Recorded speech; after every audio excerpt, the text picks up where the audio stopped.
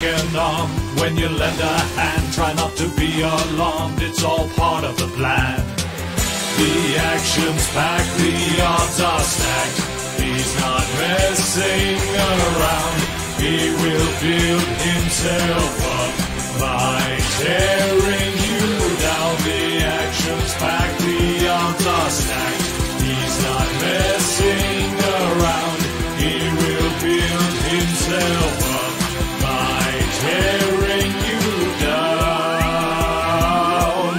Simon says it is time to take on the world. Simon says he can't be bothered with the Supergirl. Simon says take her out. Simon says blast away.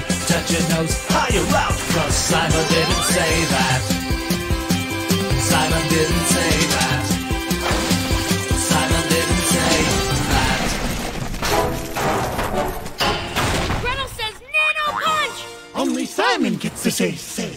And Simon says, You'll never defeat me, Grody Gretel. Brody Gretel, Brody Gretel, Brody Gretel, Brody Gretel, Brody Gretel. Oh my gosh, I get it! You're just a bully! Of course I'm a bully. Everybody fears them. Simon, are you doing all of this because you feel small? Duh! I'm a nanobot. I mean, do you feel small inside? No, you're small. Stop making me feel things. People doesn't make you a bigger person. It's never gonna fill up that void. Sure it The only thing that'll make you happy is doing something you love. Is there something you really love, Simon? Well, there is one thing I've always wanted to do, but it's too foolish. I could never do it. Simon says. I don't care what Simon says. What does Simon feel? Simon feels. Simon feels.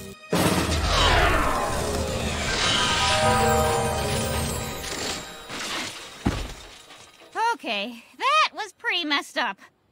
You've had a pretty crazy week. You doing okay? Yeah, at first I liked being so powerful, but after a while I didn't like who I was anymore. And then I wasn't even me. I was some guy named Simon for a bit. what was that all about? He was just a nanobot that felt small, but I think he found something that makes him happy.